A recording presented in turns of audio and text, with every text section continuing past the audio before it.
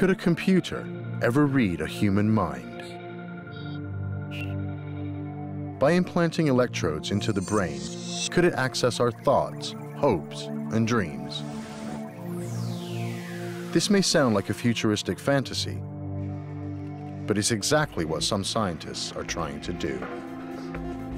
Using video game technology, they have developed a new way of moving through virtual reality by thought alone.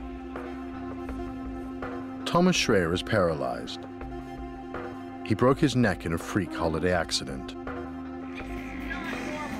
I ran to the sea and jumped over the waves. And one of these waves uh, pushed my, my feet uh, up and uh, I crashed with my head on the bottom of the sea. Since the accident, Thomas has been unable to move his arms or legs. But thanks to a new European research project, he is learning to maneuver his way down a street, albeit a virtual street.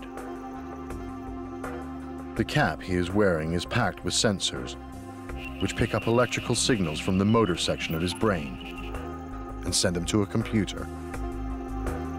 When Thomas thinks about moving, the computer software translates the thought into a command.